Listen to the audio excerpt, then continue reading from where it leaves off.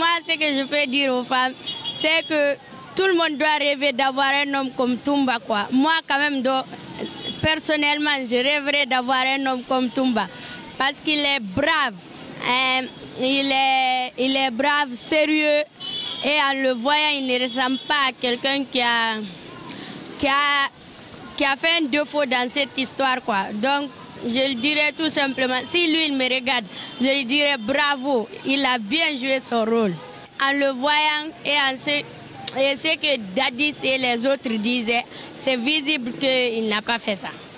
Non, pour moi, donc, il n'a pas fait ça. Je demande que s'ils peuvent, si vraiment ils savent faire la justice, ils vont, ils vont, ils vont rétablir la paix, quoi.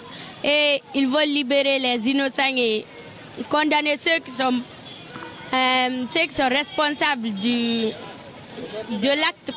Je dirais que euh, on n'a pas parfaitement fait ce qu'il fallait. Moi, à mon égard, je dirais qu'il faut libérer Tumba, quoi.